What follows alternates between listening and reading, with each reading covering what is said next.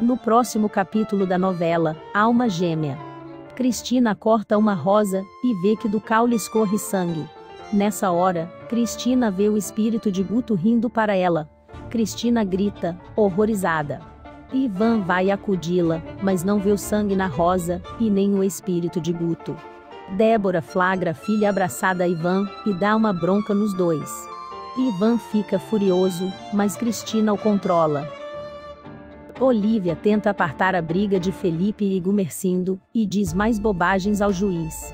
O juiz suspende a audiência. Dalila diz que não merece Roberval.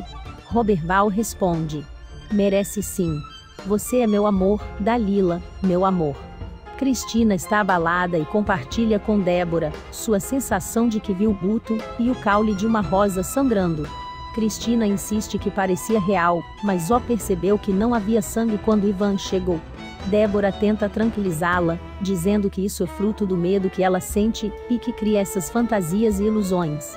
Débora aconselha a manter a frieza e esquecer essas ideias. Cristina, ainda assustada, pergunta se Guto poderia ter voltado de outra vida para atormentá-la, mas Débora insiste que é apenas imaginação e que ela deve se acalmar e continuar agindo normalmente. Por fim, Débora sugere que Cristina se prepare para estar bonita quando Rafael chegar. José Aristides pergunta a Serena se não acha que deve ir embora dali, já que seu amor com Rafael não deu certo. Vitório conta que a audiência foi um fiasco. Raul comemora o vexame de Olivia e ainda repara nas pernas de Terezinha.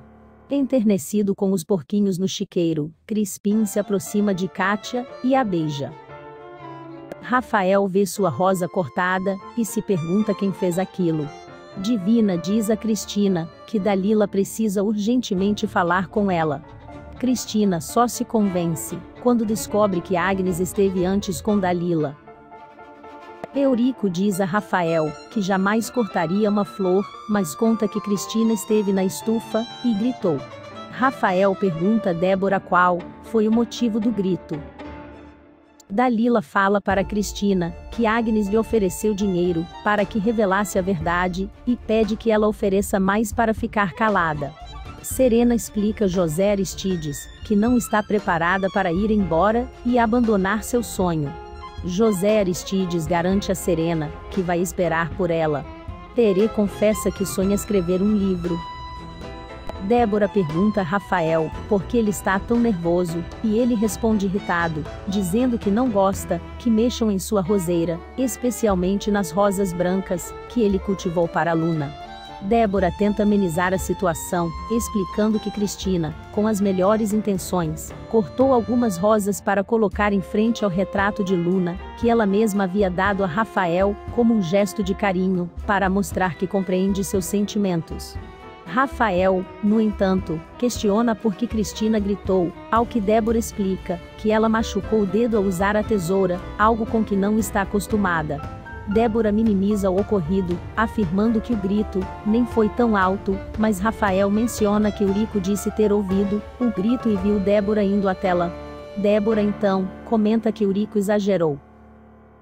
Débora conversa com Eurico e comenta que ele errou sua vocação, insinuando que ele deveria trabalhar na rádio, já que adora anunciar notícias. Eurico, surpreso, pergunta o que fez, e Débora o acusa de correr, para contar a Rafael, que sua filha estava gritando na estufa. Eurico se defende, dizendo que apenas respondeu à pergunta de Rafael sobre a rosa branca cortada. Zulmira comenta que Rafael tem ciúmes da roseira, e Débora, irritada, pergunta se Zulmira está sentindo falta de uma reprimenda, já que se intrometeu na conversa. Zulmira tenta se explicar, mas Débora interrompe, dizendo que sabe muito bem o que ela quis dizer e que não é imbecil.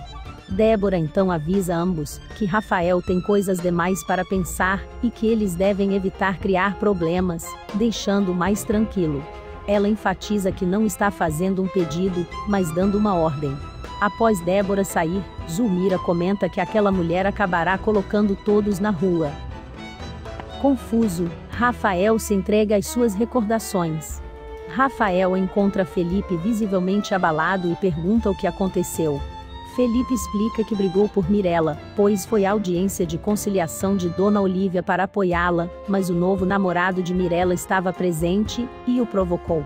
Rafael tenta aconselhá-lo a esquecer Mirella, mas Felipe responde que algo dentro dele diz que ela ainda gosta dele, mesmo com todas as evidências contrárias, incluindo o fato de ela ter encontrado outro namorado tão rapidamente. Ele sente que a história deles ainda não terminou. Diante disso, Rafael incentiva a seguir seu coração e lutar por Mirella, caso realmente acredite que a relação entre eles ainda não chegou ao fim. Olivia lamenta que, após tudo o que aconteceu, seu maior medo agora é perder a guarda dos filhos para Raul. Olivia confronta Vitório, afirmando que ele foi quem mais atrapalhou seus planos. Cristina lembra Dalila de que ela já foi bem paga por realizar o exame, mas Dalila quer mais dinheiro para continuar em silêncio. Ela ameaça contar tudo para Dona Agnes e insinua que Agnes quer que ela fale com Rafael. Diante da pressão, Cristina suspira e diz que tentará resolver a situação, prometendo que, após o período de resguardo, Dalila receberá o dinheiro que está exigindo. Felipe está tentando alertar Rafael sobre Cristina. Ele pede ao pai que não cometa o erro de ter um filho com ela e expressa dúvidas sobre a súbita mudança de comportamento de Cristina, que parece estar disposta a deixá-lo. Felipe sugere que às vezes, para lutar por um amor verdadeiro, é necessário ser egoísta. Ele teme que Rafael perca Serena novamente, se continuar acreditando em Cristina. Rafael tenta justificar a mudança de Cristina, dizendo que as pessoas podem mudar, mas Felipe permanece desconfiado, acreditando que Cristina não é sincera e está tramando algo. O diálogo termina com Rafael começando a refletir sobre as intenções de Cristina, questionando onde ela quer chegar se estiver mentindo. Cristina está prestes a sair, mas Dalila interrompe, afirmando que já disse tudo o que precisava, e agora Cristina terá que obedecê-la. Cristina, até então, tem mostrado paciência e está disposta a resolver tudo com dinheiro, mas adverte que Dalila está puxando demais a corda, e isso pode acabar mal. Quando Dalila pergunta o que Cristina quer dizer, ela responde ameaçando Dalila, dizendo que poderia destruir sua vida em um instante. Dalila tenta não se intimidar e pede que Cristina não a ameace. Cristina, contudo, reforça que Dalila não gostaria de testar essa ameaça. Cristina elogia ironicamente o bebê de Dalila, acrescentando um toque de cinismo ao conflito. Arrasada com a audiência, Olivia cogita a hipótese de se afastar de Vitório, mas se arrepende.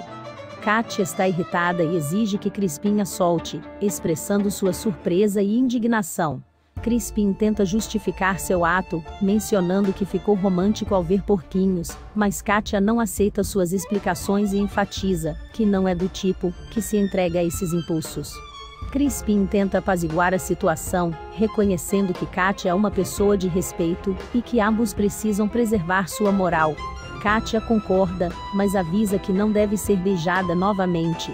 Ela acaba perdoando Crispim, mas ainda assim deixa claro que não quer que isso se repita. Eduardo comenta com Alexandra que precisa de uma prova de que Cristina falsificou o exame. Alexandra ouve uma voz mandando conversar com Cristina. Ivan ameaça dar uma surra em Hélio. O técnico diz que amostras indicam a presença de ferro na região, por isso o interesse dos donos da empresa naquelas terras. Abílio avisa Vitório que Olivia talvez tenha que aceitar Hal de volta para não ficar sem dinheiro e sem seus filhos. Vitório garante que abrirá mão de Olivia se for preciso. Débora aplica tortura psicológica aos empregados. Alexandra avisa Cristina que ela enlouquecerá se não parar de mentir. Cristina fica apavorada quando ela fala da rosa que sangrou. Eduardo pede que Cristina diga a verdade sobre sua gravidez.